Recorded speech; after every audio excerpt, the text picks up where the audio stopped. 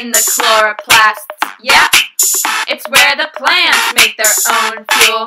Yeah, something called photosynthesis. Yeah, and this process is really cool.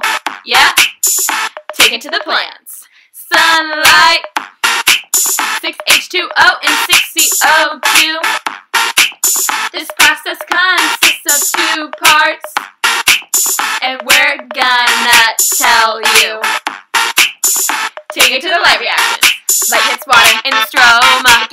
2 a byproduct. The excited electrons from H2O are released to photosystem 2. Use the ETC to photosystem 1, which creates a gradient of H plus ions. Across the thylakoid, chemiosmosis makes ATP and then ADP. Hey, get the sugar on. Photosynthesis. Get the sugar on. Photosynthesis. Get the sugar on. Photosynthesis. Get the sugar on. Photosynthesis. Get the sugar on. Photosynthesis. Get the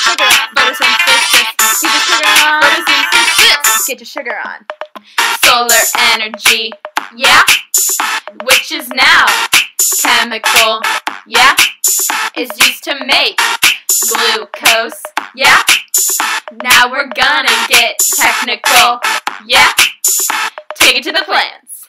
ATP left over from the light reactions is used to power the Calvin cycle.